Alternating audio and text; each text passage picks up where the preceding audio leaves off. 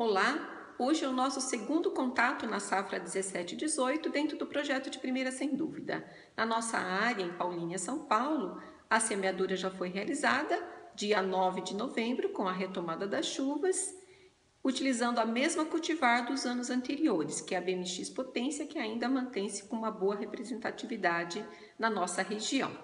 Como estaremos com muito mais proximidade, mais contato nessa safra, pedimos que nos acompanhe em breve com novas informações. Muito obrigada da atenção. Até logo.